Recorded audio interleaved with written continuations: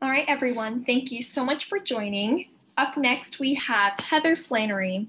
She's the founder and CEO of ConsenSys Health, a blockchain software tech company that solves large scale healthcare problems. She's passionate about proving population health and economic prosperity by building mission driven organizations that use innovative and emerging technologies. Please welcome Ms. Flannery as she discusses the topic utilizing blockchain technology in healthcare. Thank you so much for joining us, Ms. Flannery. I'm delighted to be here. How's my audio? It's perfect. Thank you so much. Feel free to share your screen whenever you're ready. All right. And I am planning on about 30 minutes for the talk and 30 minutes for, I'm hopeful, great audience Q&A. Sound, sound good? Sounds great. We should end at about 12.55. Actually, you know what? 30 minutes is great because up next we have our lunch break. So that's perfect. Terrific. All right. Well, thank you very much. Thank uh, you. hello, everyone. It's a it's an honor to be here today. I'm uh, I'm Heather Flanner Heather Flannery. I'm the founder and chief executive officer of ConsenSys Health. Uh, ConsenSys, spelled with a Y, is the largest pure play blockchain company. And uh, ConsenSys Health is a commercially independent spinoff of ConsenSys uh, that's aim is to drive the positive transformation of our industry with a family of emerging technologies, including blockchain, but not limited to blockchain. So I'm, I'm excited, I'm really excited to be here and speak with all of you today. Um, outside of my role leading ConsenSys Health, uh, I also am the co-chair of the blockchain task force at HIMSS, the Health Information Management Systems Society, two S's at the end. And uh, if you're not already a HIMSS member, I highly recommend it uh, for, uh, for, for pre-health professionals. Incredible way to get oriented to the, I'll say the tactical, practical, technical, and engineering disciplines involved with the, uh, the underpinning of healthcare and life sciences. Uh, in addition to that, I'm involved with standards development uh, rather intensively.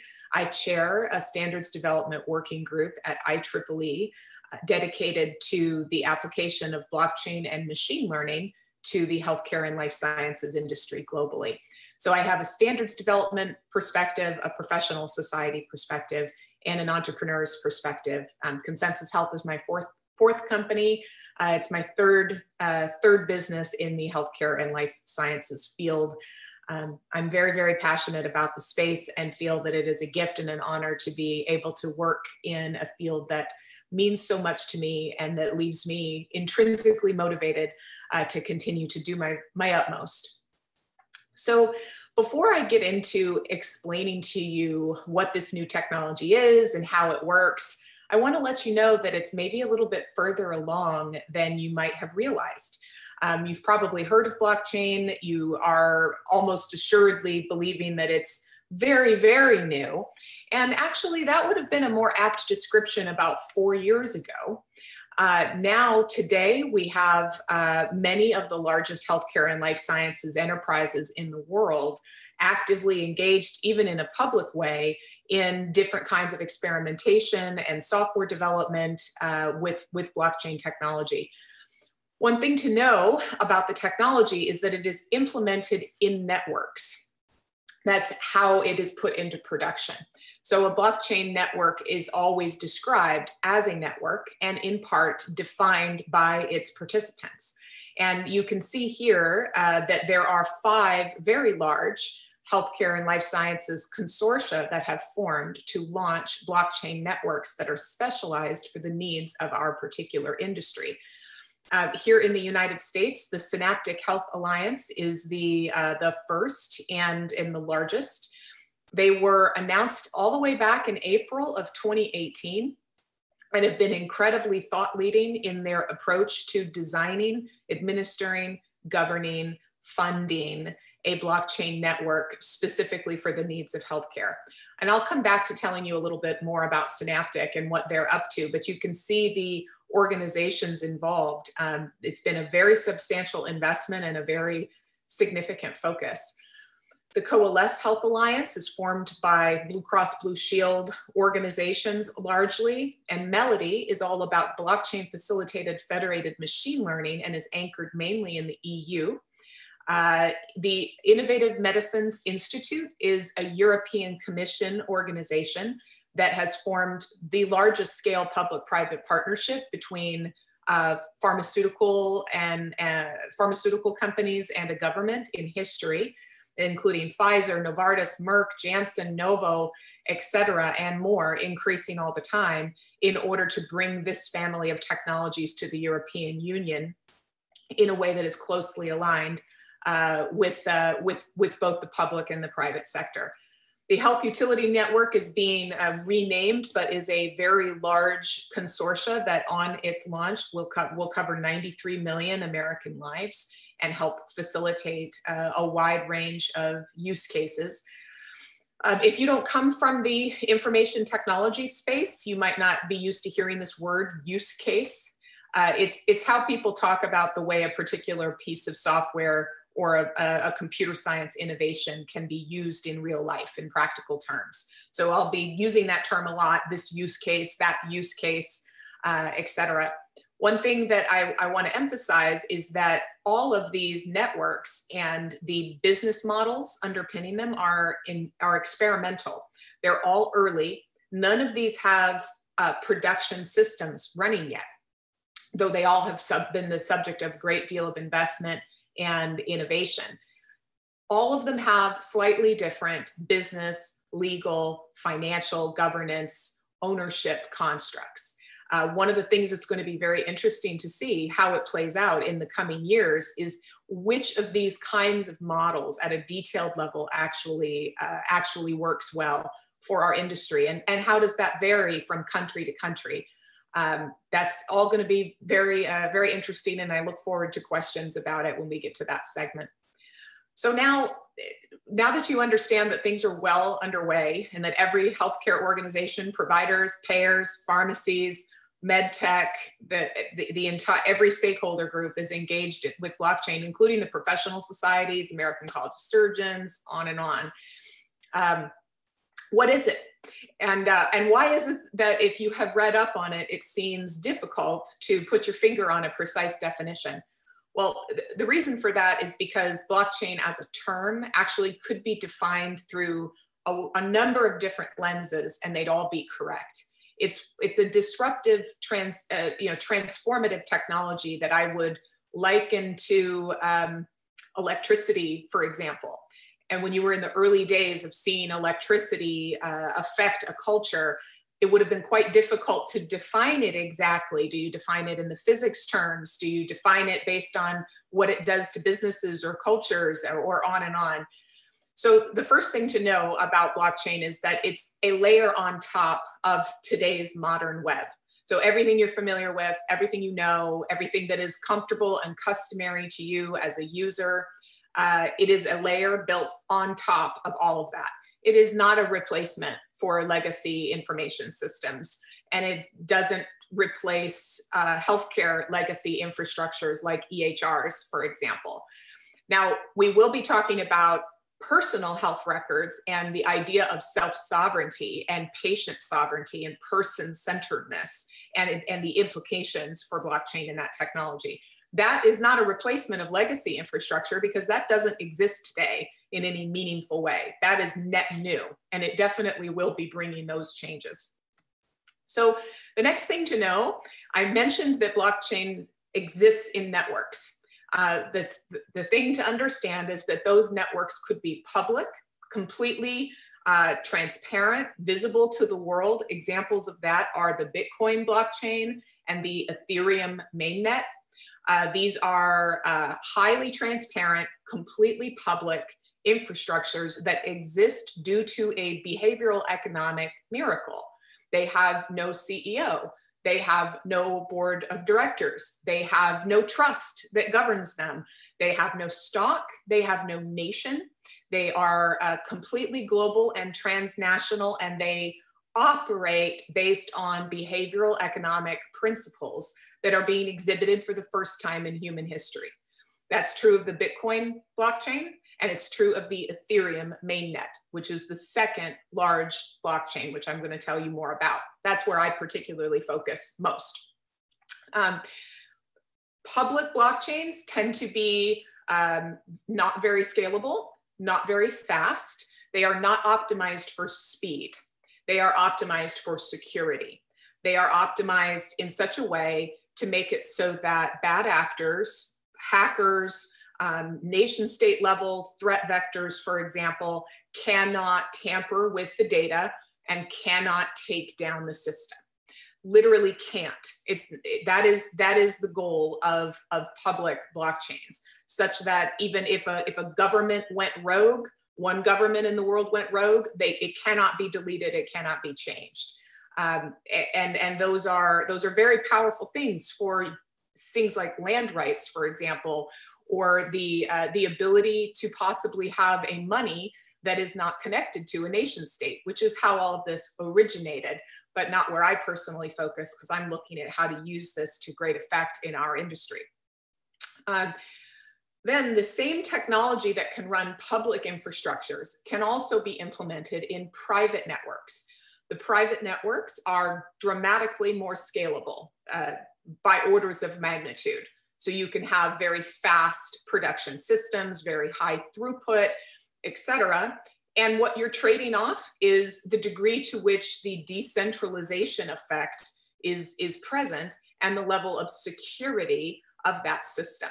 For example, let's say you had an enterprise blockchain network, which means usually a private network, uh, and you had 12 corporations that were all members of that network.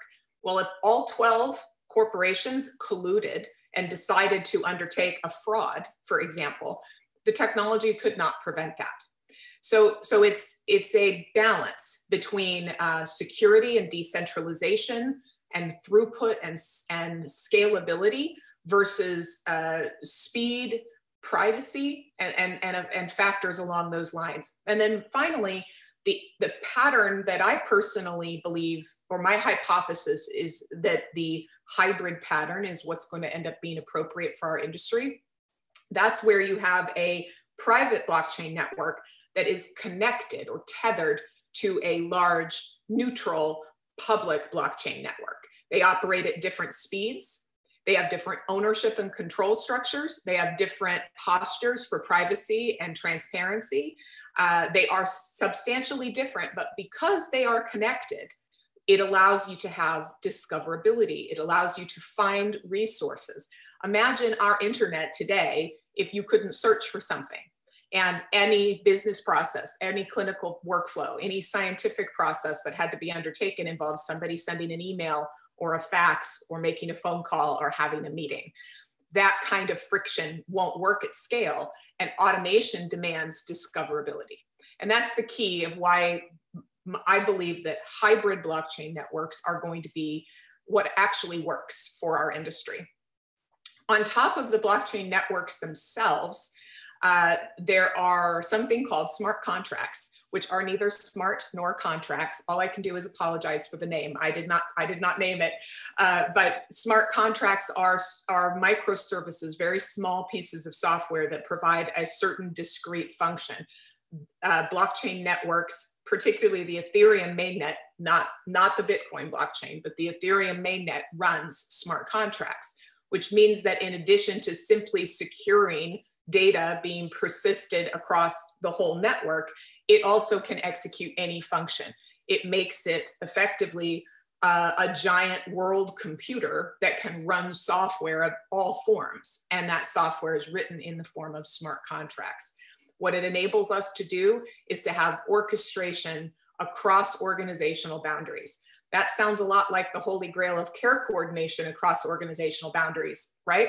And that's, uh, that's a very important dynamic of what smart contracts can deliver. Uh, blockchain networks can be tokenized. There are many different blockchain protocols. Uh, the Ethereum protocol, where I focused, is natively tokenized. Uh, when you run it on the public mainnet, it is running a cryptocurrency called ETH or Ether, and that is how it is operating. That's where the behavioral economic dynamics, which is outside of the scope of this talk, but I'm happy to describe more if it comes up in the Q&A. In enterprise or private blockchain networks, it is not necessary to use tokens at all. You would only do so if it made business sense. They're optional. But what's key about tokenization is it creates digital scarcity. So if you if you remember your economics and supply and demand and the role of scarcity, uh, we've never had that uh, because our current technology paradigm is such that data can be infinitely copied. So there's no scarcity when it comes to data at its fundamental level because it can just be copied and copied and copied. Tokens, not so. Uh, tokens, whether they're fungible or non-fungible, cannot just be infinitely copied and they require a particular paradigm to operate them and they effectively create scarcity, which is why the game theoretical approaches and the behavioral economic approaches can work in a blockchain ecosystem, but they could never work in our legacy technical environment. And then last, uh, decentralized apps or dApps is what you call a, a user facing piece of software that uh, is built on blockchain. And uh, we at ConsenSys Health, at my organization, are working with this family of technologies plus two others. My position is that blockchain technology is necessary for the transformation of our industry with respect to our problems and challenges with illiquid, low integrity, siloed health information. Uh, but it's not sufficient. So necessary, but not sufficient.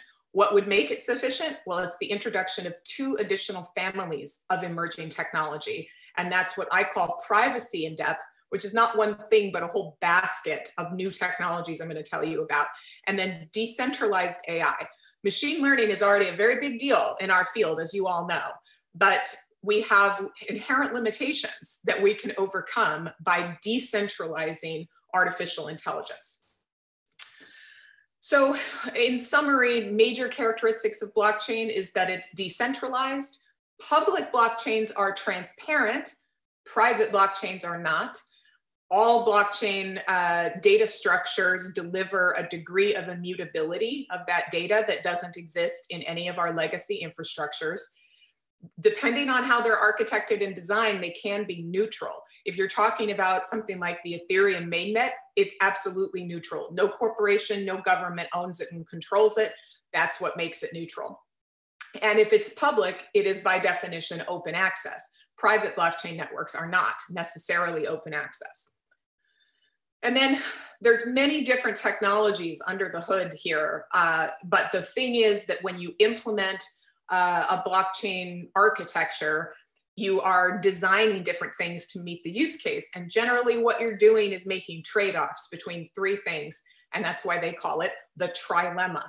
And those things are scalability, security, and decentralization, which maps to neutrality. All right, so we have a number of barriers of, to adoption here. I think of them in these five categories uh, cybersecurity, compliance, privacy, identity, and bioethics. Each of these is positively and negatively impacted by the introduction of these emerging technologies. One, one point that I hold dear is that uh, this is a new technology paradigm of the same magnitude as the dawn of the commercial internet. Uh, it is the same, I, I think of it as, you know, the Gutenberg printing press, the steam engine, the integrated circuit, you know, all the way to this kind of new technology paradigm. In our past technology paradigms in healthcare, we have unfortunately left large segments of the population behind. We have what's called the digital divide. And in this pandemic, it has become abundantly clear that humanity has become dependent upon access to digital health and that a fully inclusive digital health environment is now as important as, as food and shelter. Uh, and, the, and what we want to do is see this new technology adopted in an ethically intentional way that prevents the deepening and worsening of health disparities that are already crushing in many places around the world, including here in the United States. If we fail to learn from past mistakes with the introduction of technology into healthcare, think about all the unintended consequences that have occurred due to the digitization of healthcare. When I first entered the field, uh, physician suicide was not a thing.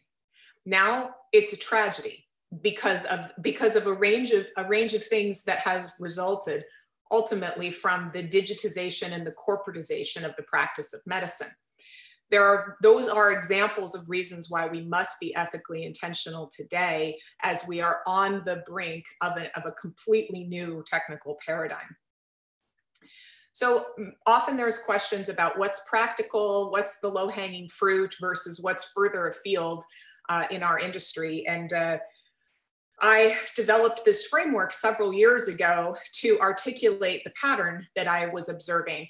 Uh, it's called the PHI Readiness Framework. I'm sure everyone here is familiar with PHI, but if you're not, it's protected health information, which is a defined term under the US HIPAA law and, and similar terms in every, every nation around the world. It involves identified clinical information.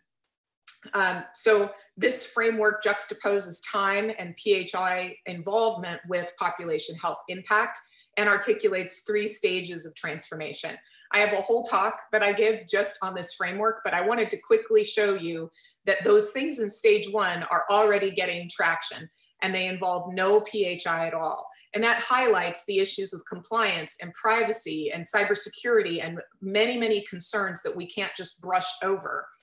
Then in stage three, we see lots of things that I put in the holy grail category that would be enabled by this technology things like the you know realizing the dream of precision medicine and true personalization orchestrating care across clinical uh, across organizational boundaries uh, driving the transformation from volume to value all those things are out there but they all require that we are able to compute upon transfer and work with phi in these in this new class of infrastructure.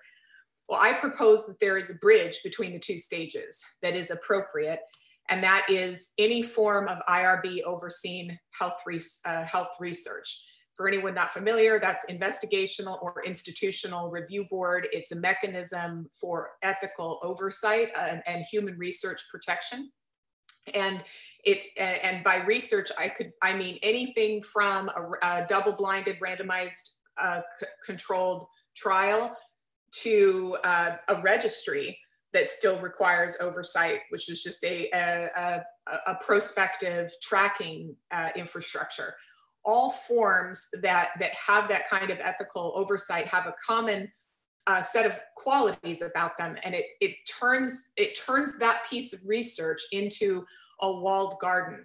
Uh, in the sense that it has its own technology infrastructure, it has its own data management approach, it has its own governance and oversight. It always has its own funding source, separate from the practice of mainstream medicine. All of those things and more make it not only ethically appropriate, but necessary to adopt this technology under research constructs so that we can learn uh, what claims can actually be made about the infrastructures that are made possible with this technology, while at the same time answering important research questions in a way that delivers superior data integrity uh, because the, the reproducibility and replicability crisis in clinical research is, is massive. So we can be adding value on two fronts at once. So anything that is possible in stage three in mainstream medicine, I argue is possible today under a well-designed study in stage two. So a couple of uh, a couple of things for uh, that I, I hope will help when you start to understand this idea of federation and what it would mean for healthcare and life sciences. First of all, centralization is the status quo. All the systems that you're used to, EHRs, they're centralized. Enterprise information systems, they're centralized. And in order to compute on data, in order to analyze it, you have to first move it someplace uh, and centralize it. What I'm going to be telling you about now is a new approach that is not blockchain intrinsically, but facilitated by blockchain being used as an access control layer effectively. But we have to understand there's new semantics because if you just use the word data by itself, it ceases to be meaningful. uh, because you're using data in so many different ways and contexts. So I'm going to encourage us to use three terms to define data. Um, metadata, everyone already is familiar with that one. That's data about data, data describing data. Source data is, uh, for example, enterprise data that lives behind a corporate firewall, uh, or patient self-sovereign data that maybe lives on their cell phone, et cetera. That's source data. And derived data are analytical findings. That's actually what's valuable. That's what we're all after. Uh, however, uh, we tend to, we don't trust analytics that we didn't perform ourselves. And by ourselves, I mean a corporation, a government, etc. We have to get the source data, verify where we got it, perform our own analytics in order to trust the findings. That is a trust problem. And foundationally, that is, that is the part of the picture that blockchain resolves. Now, source data has been exponentially expanding for the last 15 years, and it's only radically increasing. And the, the Internet of, of Things and the Internet of Medical Things, particularly, is exploding as 5G is being rolled out. So the, the bottom line here is that we've, we've reached the logistical extremes of centralizing data as the way of getting value out of it. And my assertion is that we are now living in a sunsetting paradigm, like what mainframe computers were before, before the web, you know, and before the client server architectures, there was a time when we were still in that paradigm, but it was sunsetting. In the emerging paradigm, uh, the, the creation of value from data is going to be rapid, automated, quality controlled, and trusted. But where we live today, right now, it's slow and labor intensive, it's error prone, and it's untrusted. Uh, in, the, in the sunsetting paradigm, we have to move data from place to place, copying it all the time. Very often, to address compliance, uh, you know, good compliance reasons, we have to de-identify data, particularly public health data. Uh, this introduces enormous challenges that if you're unfamiliar with them, you would be amazed at the armies of data scientists that our industry has to employ working with public health data to try to bring longitudinality back to the data that had been stripped out in the de-identification process. Um, in the emerging paradigm, the data stays at rest. You're able to analyze it exactly where it's already sitting. Instead of bringing the data to a centralized place where you can compute upon it, instead, you're bringing the algorithm or the computational capability to the edge where the data resides. resides. You're normalizing it locally and you're distributing rule sets out to all of the data silos. Ultimately, the data can be analyzed right where it sits as well, and only the derived data is what is shared in uh, federated networks that are facilitated by blockchain. So uh, we've been talking about person centricity and patient centeredness for a really long time in this industry. We're at the point now uh, in, in the US with the last stages of implementation of the 21st Century Cures Act and the anti-information blocking provisions that we need a, a new set of person-centered architectural components in order to uh, in order to accommodate the, the the having reached the logistic extremes of data centralization. Those uh, those five components are self-sovereign identity, verifiable credentials, biometric workflows, a self-sovereign data lake where n equals one, and an ability to work with tokenized value. And those five things have to work together around a person that gives them brand new, very powerful mechanisms to engage with enterprises. Ultimately, what this means is that we're, we're going to be able to move from data silos to being able to implement crypto economic, behavioral economic incentive systems that make it more worthwhile for parties to collaborate using their data than to hoard their data.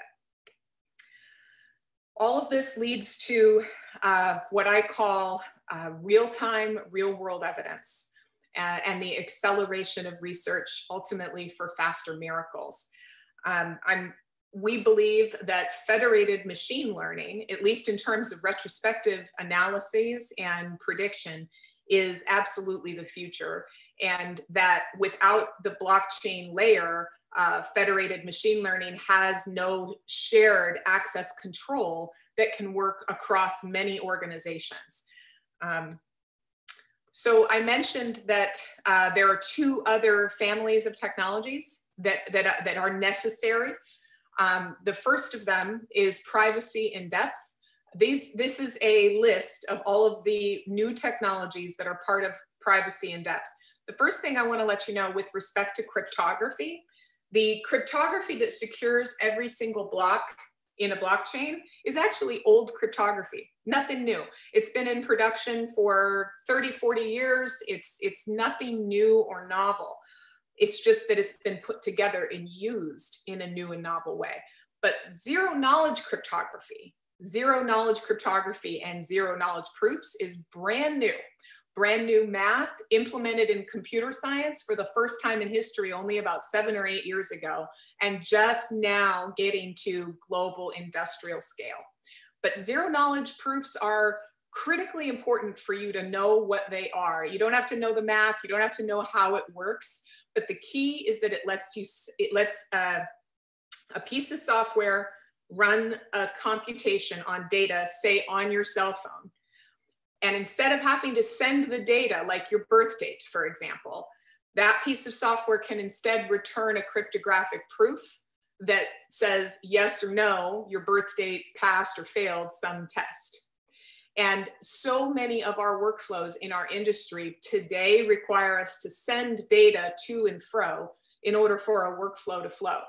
But with the introduction of zero knowledge proofs at global industrial scale, what that means is that the number of scenarios where you have to exchange data, it goes from being the norm to being an exception case. There still will be times when data actually has to be transferred, but it will be uh, much less common than it is today, which is, which is going to bring uh, enormous value. I'm not going to talk about the rest of these other than just to quickly mention trusted execution environments, which are hardware security modules that can be implemented on the cloud or locally on mobile devices. And what they do is they create a, a, cryptographic memory space or compute space so that even the operating system of the computer that's running it cannot see what's happening inside that crypto bubble, if you will.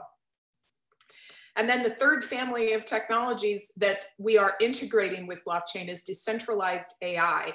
Um, federated learning includes includes not only the learning mechanism but also inference, which is the the uh, using using uh, uh, making a prediction effectively and being able to do so in a secure and verifiable way so that you can be certain that the the thing that's making the prediction that might be guiding patient behavior for example or god forbid guiding clinical behavior choices can actually be assured that it hasn't been corrupted, hacked, or otherwise tampered with.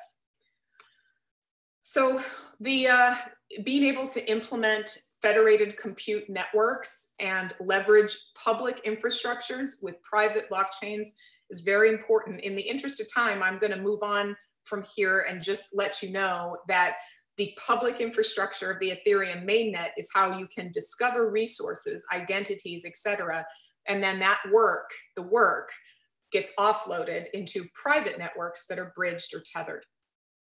Ultimately, this leads to, the, creates the potential for total care engagement uh, that leverages gamification, behavioral economics, and tokenomics.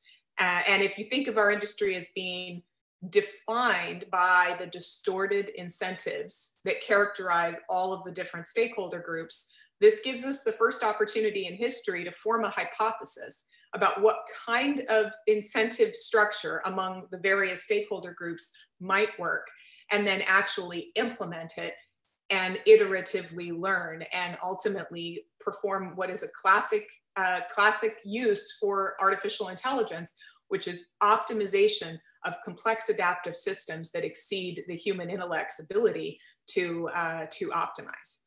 So with that, I'm excited to take questions. Uh, that was a that was a lot in a short period of time, but we've got um, plenty of time for Q and A. Great. Thank you so much, Heather, for your amazing presentation on blockchain technologies in healthcare. I have one question for you and some other questions I also wrote down as of right now. I'm sure there'll be plenty more as we go on in our discussion. Um, as you describe the different blockchain technologies utilized in healthcare, how can us pre-health students become more familiarized with this technology and how would it be useful in our future careers as doctors um, sure. and doctoral students? So I think that one of the most important things that needs to happen to see our major problems in our industry solved is that uh, we can't. Add, I'm I am not a provider. I'm I'm a I'm an entrepreneur in our field, but what we can't have are the corporate interests and the government interests that run healthcare and life sciences take the entire practice of medicine digitize it, make it part of the administrative costs of medicine, and disenfranchise physicians and clinicians and providers from that process. Um, increasingly, it, what used to be the triple aim is now the quadruple aim, and provider experience, everyone understands, is at a crisis level. That, in large part, has to do with the, the growth of administrative medicine and the digitization of the practice of medicine. And, and those, those uh, implications have had enormous, some positive and enormous negative unintended consequences. So, as a pre health professional, what I would tell you is that you can't leave the understanding of the technology to others that that uh, it's important not that you understand it at the level that you could build it for example but that you understand fundamentals and that you understand that medicine isn't a non-technical discipline anymore from an IT perspective every single thing we do is using is using machine learning every problem that we have in the industry every uh, waste, fraud, and abuse, um, uh, medical error, et cetera, et cetera, comes back to data and it's the infrastructures that control and govern it. So the whether you are personally a user of the technology, you will be a critical voice in shaping the future of medicine. And uh, in that, uh, be an empowered stakeholder, and that requires you to understand. So, so learn. It would be my would would be my guidance, and the most practical way to do that is the Health Information Management System Society, HIMSS. They are the health IT professional society, more than 60,000 members, and there are you know thousands and thousands of clinicians who practice medicine but are also members of HIMSS because they have learned how critical this whole technology infrastructure and data thing actually is. And uh, they have very, very great uh, student programs and uh, I've been part of some of them. I'm honored, uh, you know, to be to be part of supporting those programs whenever possible. It's it's himss.org, and uh, that would be my number one suggestion. And if you want to learn about this protect, particular technology, um, we have a blockchain task force. And I co-chair it, and we have put out tremendous amounts of great content, peer-reviewed papers, um, webinars, other resources it's all available on the HIMSS website. And, and I, I would say it's a trusted, neutral, unbiased source of uh, health relevant, health contextualized information. Thank you so much for that answer. As a pre-health student, I am very, very interested in this technology, even though I have no computer science background whatsoever. But I've heard people similar to you and entrepreneurs talk about how being aware of this technology is so important for anybody of any background because it is seen in almost every industry. So thank you so much for that input. Our next question is, how have you seen machine learning grow in healthcare? And what are some specific examples? Sure. So I've been in healthcare. So my career started in the mid 90s and uh, and I've been in healthcare continuously since 2005. So just to give you a sense of this spectrum of time, um, machine learning has it has a storied past in healthcare because there's there's incredible potential, but there's also really substantial risks. And uh, so, so to give you an example of something wonderful and an example of something terrible, uh, so that you can see the, the technology itself is completely neutral. Uh, but but uh, in, in the event that the data that it's being trained on or the infrastructures it's being trained on are unintentionally not neutral, you can be you can be teaching a machine intelligence something you don't want to teach it uh, and not even know that that's happening. So so machine learning in healthcare uh, has been able to radically enhance the uh, being able to capture um, tumors, for example, off, off of imaging files. So, so uh, there are well-studied uh, rates of errors that radiologists make, for example, when they're looking at imaging files in, uh, you know, screening for tumors in many different cancers. And uh, we've been able to take those imaging data and have a training set where a human being had to confirm that that in fact is an image of a tumor. We know that for sure. And then here's a whole bunch of images where we think they're, the person's healthy. And we've been able to use those images to train machine learning algorithms to be able to ingest an image, a, a radiological image like that, and put out a, an answer. There is or is not a tumor here. And those answers occur at a higher level of, of accuracy than radiologists can deliver, substantially so. So much so, even though radiologists themselves might possibly feel threatened by having technology overtake their work, most radiologists are strongly in favor of that because the patient comes first and, and we're human beings and mistakes happen. And if there are ways we can strip errors that save lives, well, everyone is in favor of that. And that's absolutely wonderful. Um, an example of though the dark side and what we have to be careful about is there are um, i'm not going to mention the names of corporations because all the parties involved are people that i respect and admire and the mistakes that were made uh, were made unintentionally. But uh, there have been um, litigations brought of uh, machine learning algorithms making uh, racist decisions when they were automating different patients through a clinical flow.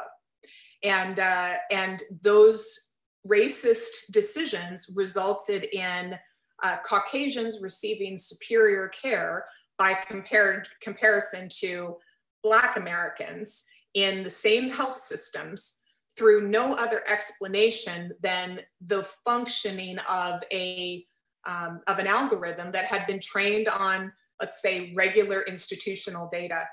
And the the implications you know as to why that was you know there we know we have health disparities. We know we have uh, for example a black american is 300% more likely to have significant morbidity from type 2 diabetes than than a white american. Uh, that's just one example of a health disparity out of dozens and dozens of crushing disparities.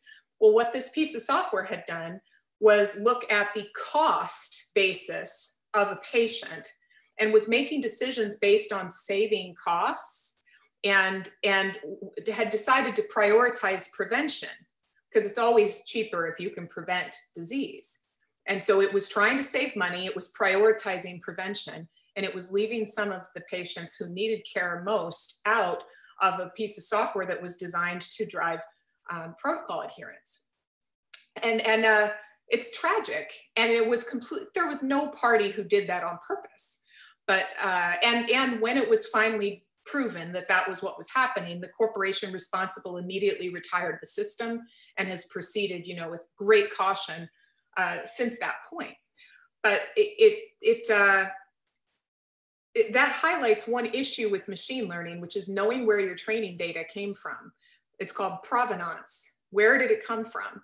And that's one value prop that blockchain brings into these systems is that if the data is sourced via a blockchain infrastructure, you have a um, you have much less of what they call a black box problem. Uh, that at least you know where your training data came from. Um, go ahead. Oh, you're muted. Sorry, I was just like, nodding to agree with you. I was like, wow. Uh, would you like me to ask the next question? Sure, sure. Perfect. Um, how would you explain blockchain to someone who has no programming or computer science experience whatsoever? That's often a, a test that is given in interviews from blockchain companies, where they, you know, explain blockchain to a six-year-old, uh, you know, and if you if you can't do it, and you know you you don't get the job it's one i actually find particularly challenging myself personally but uh, what i would say is that blockchain is a way of synchronizing data among different people or networks such that no one can cheat or lie about that data. And then it enables other things to happen on top of that once everyone's sure that the data hasn't been cheated on and isn't lying. And it, it, it stops people from changing anything after the fact perfect. Thank you for that. Um, i have a few questions that i wrote down during your presentation. What does centralization of data mean? And how have we improved technology moved away from centralization into decentralization of data? Well, in large part, we have not yet moved away okay. from, uh, from centralization of data. Our current state, the world we live in today, is still vastly centralized, and the problems that we're describing here have not yet been solved. So that's that's the that's the first first thing, and then uh, there is a um, a computer science architecture called distributed systems. And distributed systems are what run, you know, Web 2, our modern web, you know, things like Facebook and Twitter and et cetera. And that, that was a precursor to being able to federate data infrastructures. You first had to know how to federate software. And that, that came out of distributed systems and blockchain emerged out of distributed systems but the the ability to um, federate data is has been um, a very big challenge and our premise is that the parties that are able to put in market the first large scale platforms that first of all are person centered in the model that i described where the data decentralization includes self-sovereign information, self-sovereign data, not only enterprise data. That's going to be extremely powerful and, and revolutionary. And I don't think it's that far away. I don't, I, I'm not, I don't think it's 10 years out. I think we're talking 12 to 18 months before we start seeing you know major federation of, of health information. And that's going to that's going to happen in the us because of the anti-information blocking provision that's kicking in under the last stages of the 21st century cures act. And uh, that'll be that'll be a really substantive change. Um, i will oh i have to credit apple so if any of you are users of the apple health kit and uh, you have been gathering self-sovereign data through that health kit and it's residing locally on your devices and then apple can help you participate in apple research through the apple research app those are uses of federated data infrastructures that are probably the furthest along that we've come so far. So good for apple thank you so much for that response follow-up question to that how would those changes apply to the healthcare industry for specifically medical professionals and medical researchers? Well, um, my chief scientific officer is a gentleman by the name of uh, Dr. Sean Manion. He says something all the time that cracks me up, which is that scientists would rather share toothbrushes than data. Uh, the there is a a strong reluctance to to allow your the, the data that you collect while while performing clinical or basic research to be shared by others because if it were it could be corrupted. Something could go wrong. It could destroy your research. Well the the implication is that there will be data sharing and data use because it, it will become possible to use data analytically without moving it at all And then it will also be possible to exchange it and still then prove that it wasn't tampered with later. And that those implications are really game changing for, for medicine and clinical research both. So the thing to know is if you're using a clinical trials management system, what is its architecture? Soon, there will be lots and lots of clinical trials management systems that are blockchain based. Uh, it will mean though that you can't go back and correct your data, which is, you know, you're not supposed to do that anyway, but people do it all the time. That practice will end because it will be impossible to do that. Thank you so much. Another question from the audience how do you suggest we go about general education of blockchain technology, where even today, students aren't always educated on how our current internet actually works? Yeah, that's tough. I, um, I'll admit that I, I am personally self-educated on all of these matters. And I'm a voracious autodidact. And I think that you have to let your curiosity drive if you are sufficiently curious and you really want to understand how things work, then you'll be motivated to learn on your own time. I would not trust academia to be responsible for your ability to fully understand the world you're moving into. Um, human, human bureaucracies have not changed their pace, uh, but the acceleration of new technology is, is increasing exponentially and everything's converging. If you want to understand that, you can't expect an institution to develop curricula and teach it to you. I would just say you have to own that yourself and let your curiosity drive you. Um, I, I, will again reiterate on these topics, particularly HIMSS is a terrific resource for everything at the intersection of healthcare and information technology, not just blockchain cybersecurity, identity, clinical informatics, you name it. Um, and, and becoming a student member and then starting to go to the conferences when they come back and, uh, and engaging in HIMSS as early as possible is, is a terrific way to get immersion around that.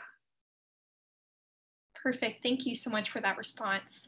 Another question for students interested in learning more about these technologies or for future medical students and healthcare professionals who are interested in learning how to teach machines to do anything, something yes. that allows them to aid their research or their work, how would you recommend someone with no computer science background to pursue something like that in that education as a self educator?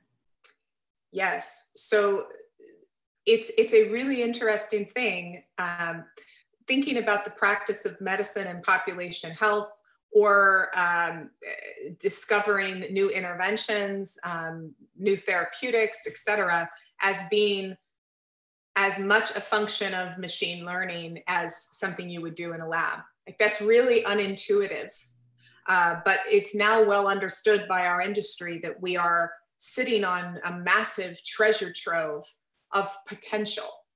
And if you have a creative, you know, scientifically grounded hypothesis that you would like to pursue, where you think some human clinical decision could be improved, optimized, and automated and done at scale, then what I would suggest that you do, first of all, continue to become a domain expert in that particular field you know don't don't don't take the foot your foot off the gas in being the domain expert in that particular field. But at your university go find the computer science department and find the people that are teaching and learning and doing ai and they want exactly what you just described. They they are computer scientists first and healthcare people distantly way back over here they might you know they might understand some things about healthcare. If you if you go to those organizations and propose joint research uh, those those th that kind of interdisciplinary collaboration is not only good it's necessary. It's the only way it's going to happen. It has to happen that way. So so think of think of the convergence of two disciplines as as as the way that this is actually going to happen and you can bring the the medicine the clinical expertise and the the the concept uh, to researchers in other disciplines and and do great great work together Perfect. Thank you so much for that response. I know many universities actually are starting to create blockchain technology clubs now. I know yes. Arizona State University has a blockchain blockchain technology club. So if you go to ASU, feel free to check that out. And um, what other questions could I ask? Well, you said you wanted to wrap up at 12:55, so we are at time. I'm happy to take another question though.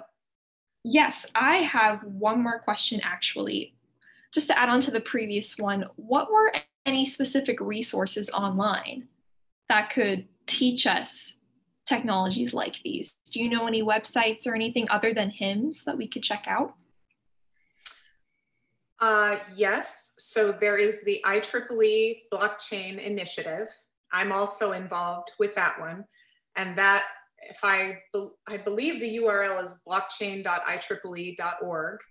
And you can find my standard under the family of blockchain standards that go across industries, agriculture, energy, etc. I chair the healthcare activity.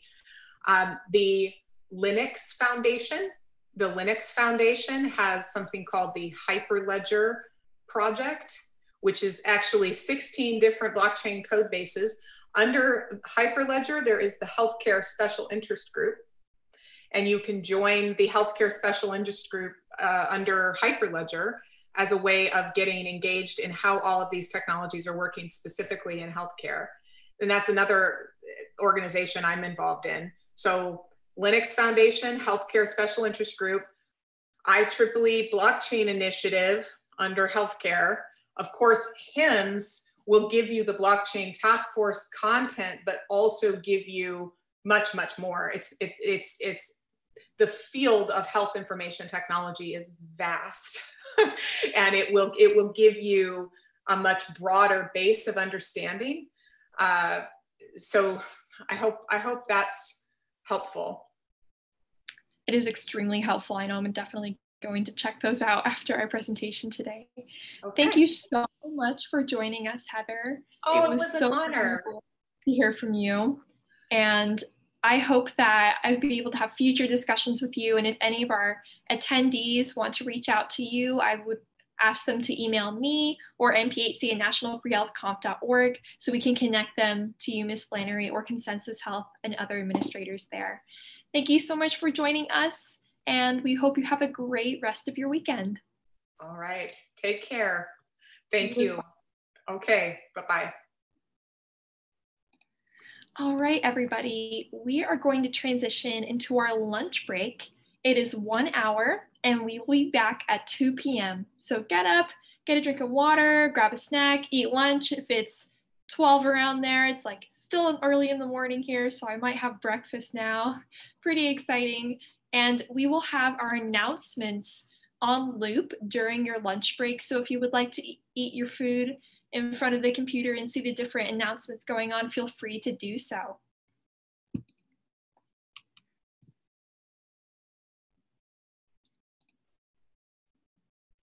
All right.